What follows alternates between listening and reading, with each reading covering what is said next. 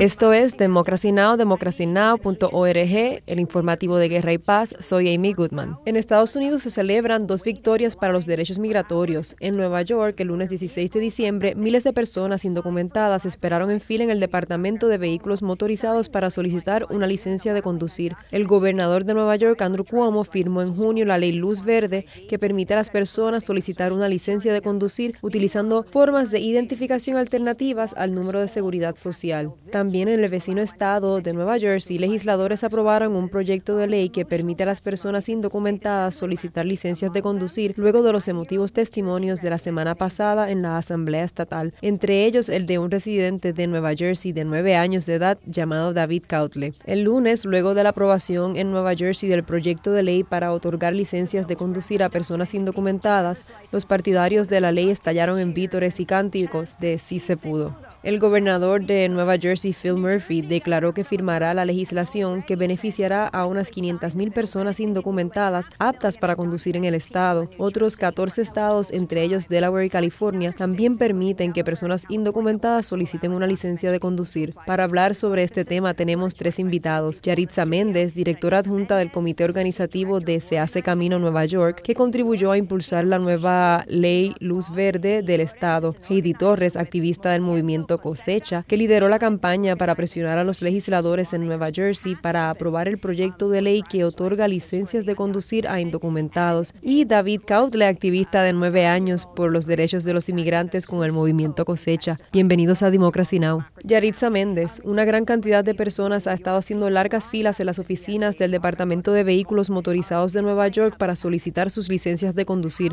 ¿Cómo se logró esto? Eh, hubieron más miles de personas eh, afuera de las oficinas o de las agencias del Departamento de Motores y Vehículos. Se está estimando que la agencia de, motores y vehículos ha venido otorgando permisos de, conducir aproximadamente diario de sobre los 2.000. So, se estima que ha, habido mucha gente afuera de las agencias, obviamente que, que, quieren beneficiarse de eso desde el primer día. Incluso el día de ayer, martes, había gente ya como a las 4 de la mañana afuera de las agencias de motores y vehículos eh, haciendo la línea listos para eh, comenzar el proceso de, finalmente poder obtener eh, su licencia. Um, ¿Qué le dice a las personas que temen solicitar su licencia de conducir porque no quieren revelar su dirección o ser arrestados, sobre todo con un gobierno federal y un presidente como Trump con extremas posturas antimigrantes? Claro, se entiende la preocupación, eh, pero también la legislación de luz verde en el estado de Nueva York tiene una de las mejores protecciones de privacidad, porque tuvimos en cuenta eh, las, políticas o las legislaciones de otros estados que han venido pasando legislaciones similares hace mucho tiempo. So, quisimos tomar eso en cuenta y asegurarnos de hacerlo un poquito más mejor o más fuerte.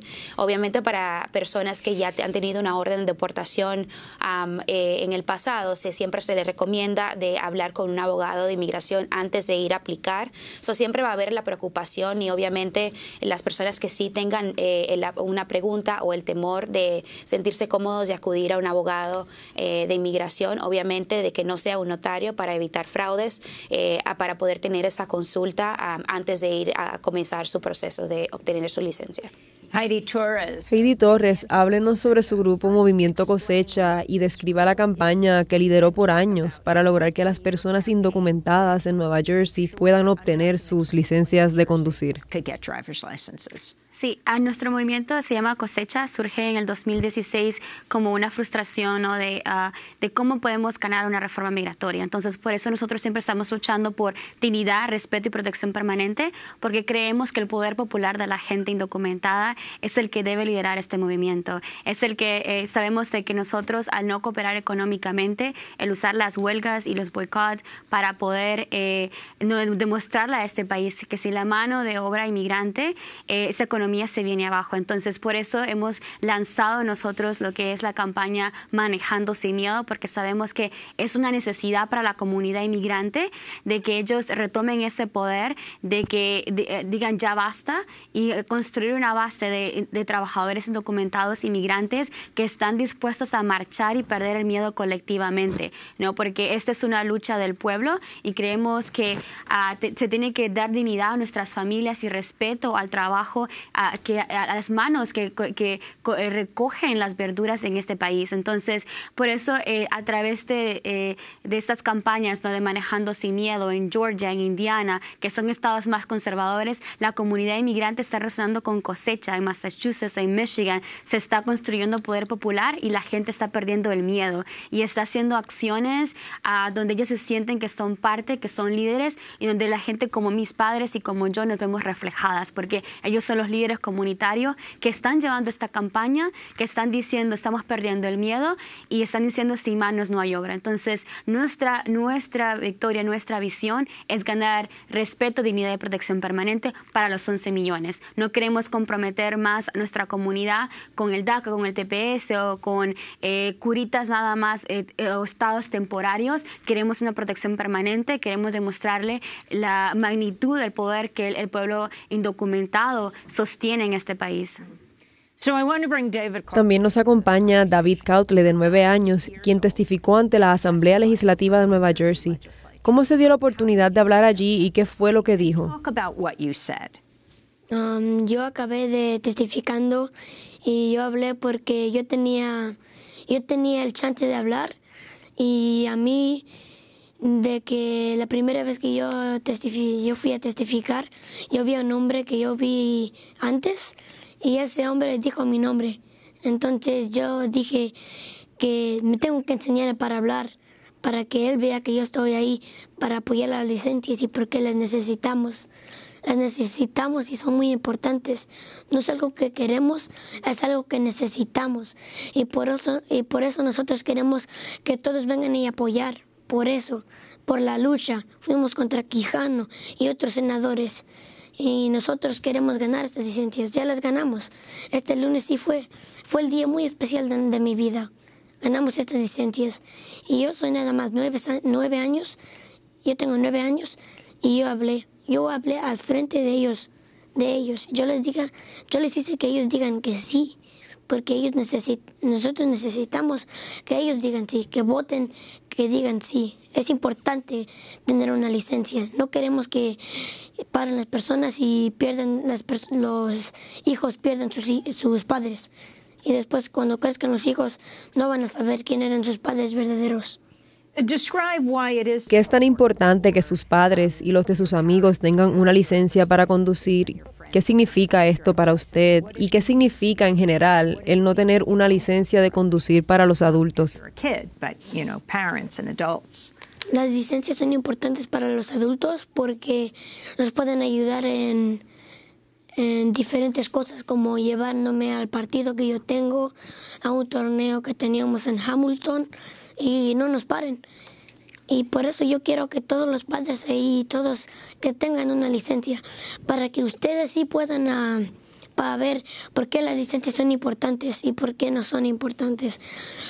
Y también quiero decirles a todos gracias por el apoyo que nosotros tenemos y el grupo de cosecha del movimiento y por eso nosotros ganamos las licencias, luchando, creando poder, popular.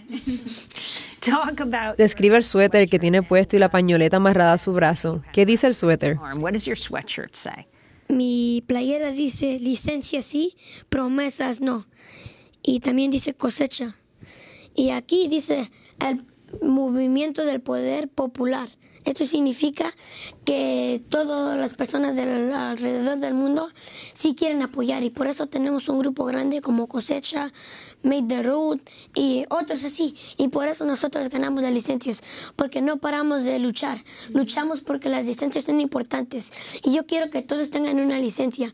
Las licencias son muy importantes para todos nosotros, para que ya los padres puedan parar de estar, estar arrestados. Y yo no quiero que eso pase a otros niños.